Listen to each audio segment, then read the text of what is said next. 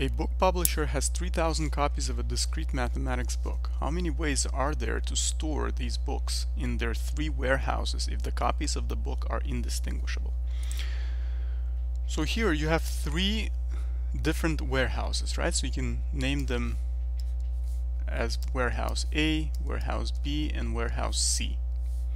Okay? So it means that you we're essentially looking into thinking, for example, imagine that all of these warehouses are full of books, at least 3,000 and more. So you're going to pick all 3,000 books from A, for example. You're going to pick, let's say, 1,000 books from A and the remainder from the B, right? 2,000 from the B.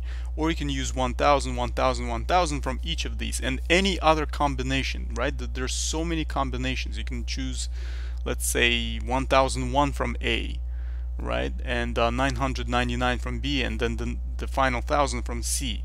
Or once again, you can choose the, everything from C, right? So all of these warehouses, let's say, have at least 3000 and more, right? That's, that's just another way to look at it, right? So you're basically putting indistinguishable objects into distinguishable boxes, right? Because these warehouses are unique, right? They're distinguishable from one another. So essentially you're talking about R combinations from the set with n elements.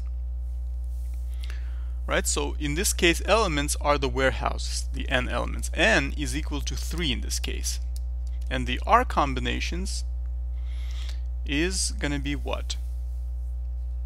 It's going to be 3000, right? So the R is going to be equal to 3000.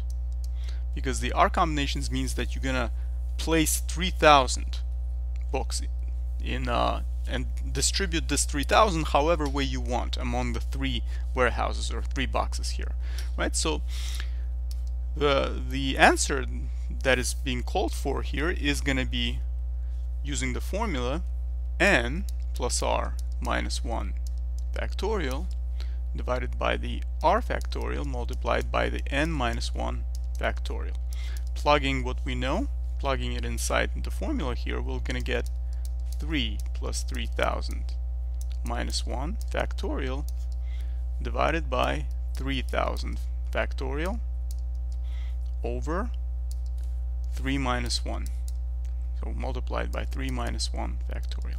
So simplifying this, we will get what? 3002 factorial divided by 3000 factorial multiplied by 2 factorial. So now, what does this mean? It means we will have 3002 times 3001 times 3000 factorial divided by 3000 factorial multiplied by the 2 factorial. So as you can see, the 3000 factorial cancels out. This cancels out. This becomes uh, 1501, right? Because 300 3002 divided by 2. 2 factorial is 2, right? So 3002 divided by 2 is 1501. Right, so using your calculator, you're going to have 1501 multiplied by 3001, right? 3001. So if you use your calculator, you will get 4 million 504,501 ways. So indeed, there are so many ways. There are 4 million, 4.5 million ways approximately because we're talking about 3,000 books, right? 3,000 identical copies that you're going to distribute among the three warehouses, right? So either you have to look at it this way. Either the at least 3,000 books already exist in each warehouse and you're going to pick them out of each warehouse or they're all empty and you're going to just distribute the 3000 however way you want. You can either put 3000 in warehouse A or you can choose let's say 1000 books and put it in warehouse A put the rest in B and C and distribute that final amount however way you want right?